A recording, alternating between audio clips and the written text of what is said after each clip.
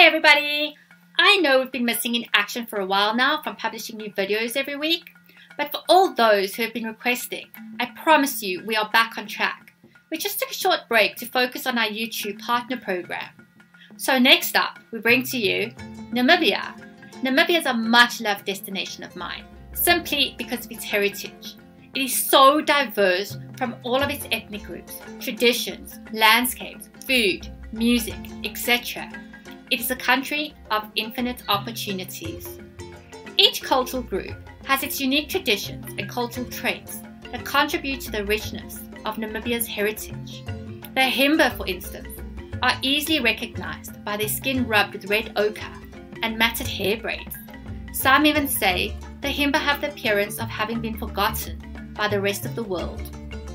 Observance of cultural traditions is very important to the Herero, a Bantu speaking, with European influence nation. The San, a small ethnic group numbering about 40,000, are more formally known as Bushmen.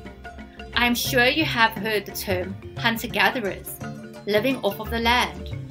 Namibia's wildlife is extraordinary, with lion, leopard, cheetah, elephant, antelope such as the orangs, and its own unique blend of desert inhabitants. From his furry crawling caterpillars to snakes such as the sidewinder, a designed ambush hunter of the dunelands, amongst other southern African snake species.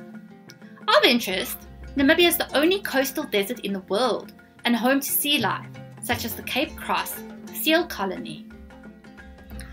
The southern region is dominated by open spaces, solitude, and silence.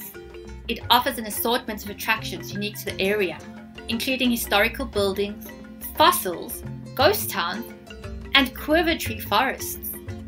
Deadvlei, a dead marsh, is a highlight with its pure white clay floor and dead camelthorn tree trunks, thought to be hundreds of years old. The dunes make up 35% of the desert, and the best time to visit the area is early morning when the light catches the dunes and allows the opportunity to gather some brilliant photographs. The Skeleton Coast name derives from the whale and seal bones that once littered the shores. It is also associated with shipwrecks and stories of sailors walking through the desert in search of food and water.